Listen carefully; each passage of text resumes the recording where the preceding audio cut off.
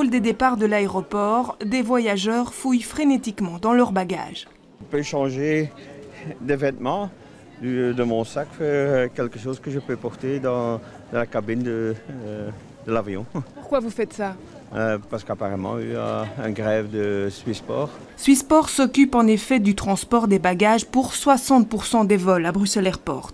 À l'origine de ce mouvement de grogne, le manque de personnel. Nous avons été informés à 7h15 ce matin que les travailleurs de Swissport n'effectuaient aucun traitement de bagages, donc aucun chargement et déchargement des valises à bord des avions. Donc une situation difficile en pleine affluence à Bruxelles Airport. Alors que les syndicats et la direction de Swissport se mettent à table pour discuter d'une prime à verser aux travailleurs pour les encourager, du côté des voyageurs, c'est plutôt le découragement. Partir maintenant, donc il euh, n'y a rien à faire, hein, malheureusement. Puis vous retrouverez peut-être sans bagages là-bas, c'est pas grave? Ben non, ça sera grave naturellement, mais que voulez-vous qu'on fasse? On a un ticket, on doit aller, donc euh, il n'y a, pas vraiment d'option. Hein. À cause de la grève, on n'est pas certain que nos bagages arrivent, alors on prend le minimum nécessaire dans nos affaires.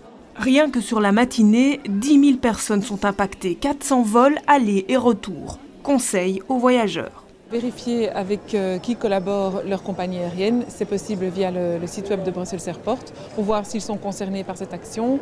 Ensuite, euh, contacter la compagnie aérienne qui pourra alors proposer des solutions et éventuellement euh, fournir plus d'informations sur les mesures à prendre pour éviter les désagréments ici.